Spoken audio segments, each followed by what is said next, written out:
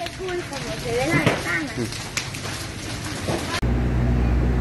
Aproximadamente a la una de la mañana somos despachados para atender incendio estructural, esto en el sector de la Luchita del Huarco de Cartago.